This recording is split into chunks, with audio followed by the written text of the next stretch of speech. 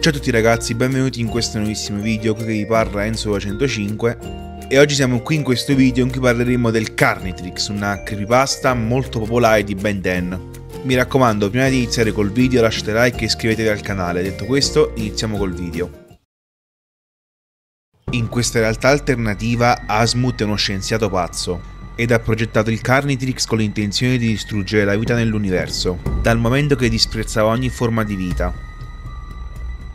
Così creò il Carnitrix, una versione macabra e instabile dell'Omnitrix.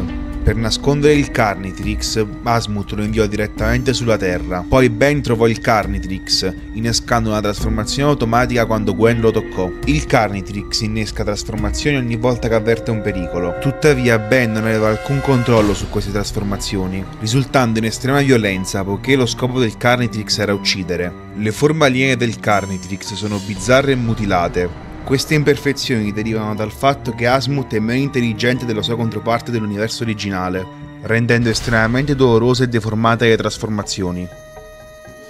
Tragicamente Ben finì per uccidere sia Max che Gwen, insieme a molte altre persone, trasformandosi infine in Alienix e annientando l'intero universo.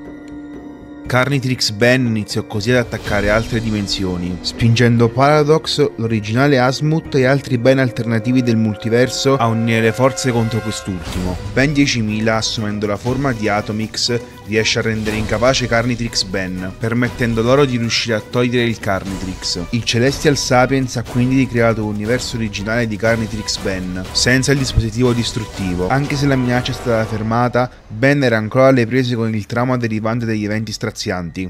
Ci tengo a ricordare che questa è una storia fan-made, cioè che non è ufficiale, scritta dai fan.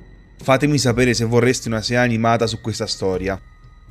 Quindi ragazzi il video finisce qui, spero vi sia piaciuto, come al solito se vi è piaciuto vi invito a lasciarmi un bel mi piace, detto questo al prossimo video, ciao ciao!